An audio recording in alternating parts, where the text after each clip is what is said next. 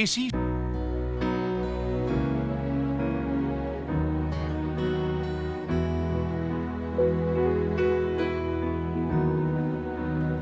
Panagaiki op weg naar Saloniki.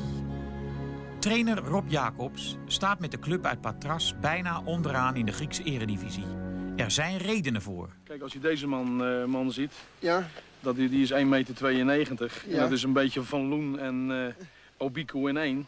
Ja. Ja, of je die wel of niet hebt, dat scheelt een kooltje of vier, dus een puntje of twee, drie. Oh, Dus daarmee had je al lang hadden wel in de middenmoot gestaan. Maar die is er even niet, hè? die doet even niet mee. Nee, die doet even niet meer mee. Wat is er Die, gebeurd dan? eh, die moest eh, zo nodig even met twee eh, Nigeriaanse vrienden een, een handeltje afhandelen in, in, in, in, in drugs. Oh, En Ja. dat is hier nou in dit land nou eenmaal niet... zijn ze niet zo gek op? nee, daar zijn ze even niet zo gek op. Dus die, eh, die zit in Athene Ja. en die, die zit daar voorlopig nog even. Die zit even vast. Ja, Ah. die komt daar voorlopig even niet meer uit.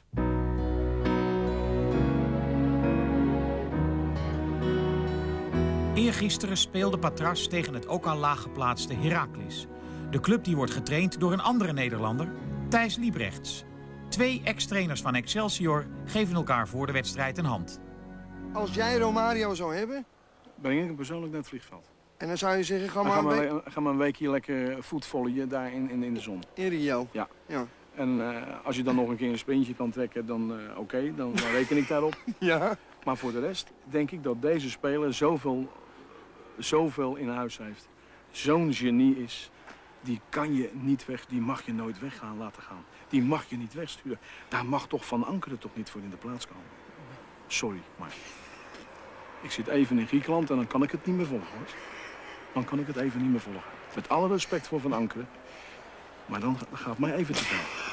Dit gaat mij even te ver. Nu introduceert Jacobs het begrip ruzie met de bal. Volgens hem hebben de meeste voetballers ruzie met de bal. absoluut geen ruzie met de bal. Romario heeft geen ruzie met de bal. Hij heeft absoluut geen ruzie met de bal.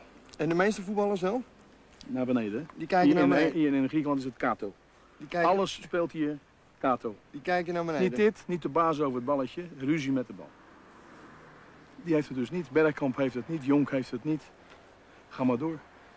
En Romario heeft ook geen ruzie met de bal. Nee, hij heeft absoluut geen ruzie met de bal. Absoluut niet. Die is echt uh, heer en meester over dat ding.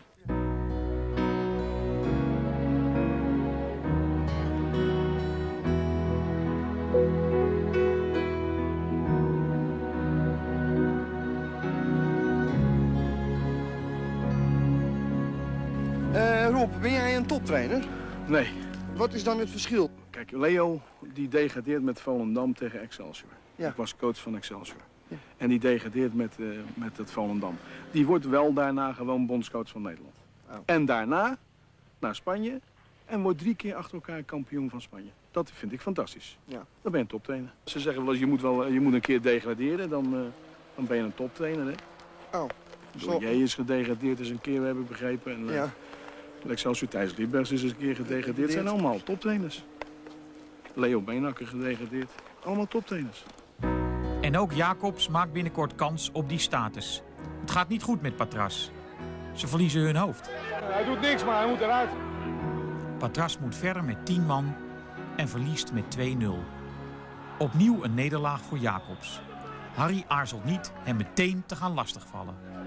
Hoe lang ga jij dat hier nog volhouden? Mag ik dat nog even een tijdje, weten? Nog een tijdje. Nou. Nog wel een tijdje. Denk jij? Ja, denk het wel hoor.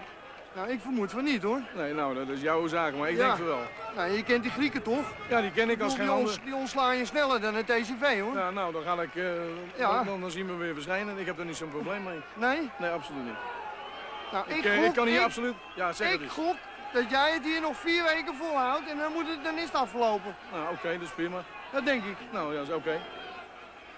En wat zeg jij dan? Ik zeg dat ik het langer volhoud. Dat denk jij? Ja, dat denk ik, ja.